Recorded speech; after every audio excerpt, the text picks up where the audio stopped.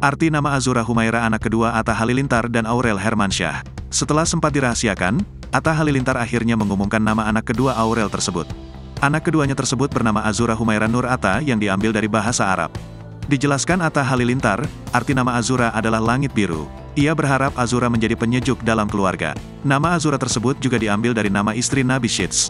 Tak hanya itu, nama Azura juga diambil dari bahasa Arab yang memiliki banyak arti.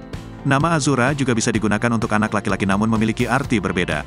Untuk anak perempuan nama Azura memiliki arti biru langit. Sementara untuk anak laki-laki memiliki arti tujuan, akal dan hajat. Kemudian, nama tengah Azura adalah Humaira. Nama Humaira diambil dari panggilan sayang Nabi Muhammad Shallallahu Alaihi Wasallam kepada istrinya Siti Aisyah.